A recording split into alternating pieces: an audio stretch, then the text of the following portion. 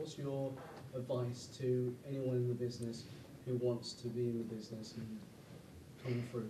Train and know the reasons why they want it because I, I've come across very many people who they just want to be rich and famous, and that's so not the reason to be in this business. because I mean, it's it's not going to happen that quickly, and you may or may not get rich and famous, and uh, it's it's it's the passion that's going to keep driving to do it over and over. I mean, and I've I've had, especially the last year for me, has been very difficult. Uh, just living, and I, have had to kind of reassess. It's like, do I go out and find a nine to five job? Um, but if I do that,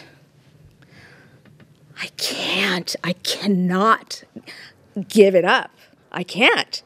And it's like I really was in that position where it's like, I can't do that. So it's like the passion just keeps on driving it. There are particular organic memories, things from set, um, stories that fans perhaps don't know that make you smile the most or, or you think are the most poignant?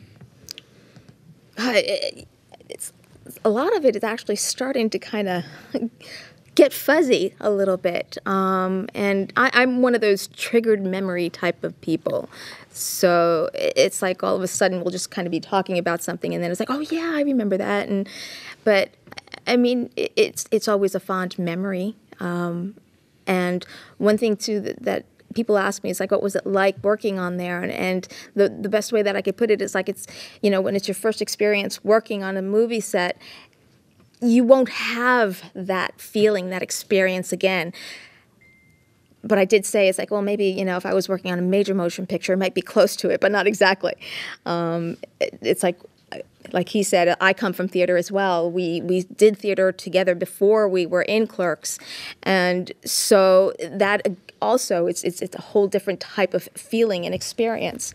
But just, oops, sorry um, I, I, think, and the way that I put it is like we were all in the same boat together, experiencing something for the first time, and you know, translating from the stage to to the to film.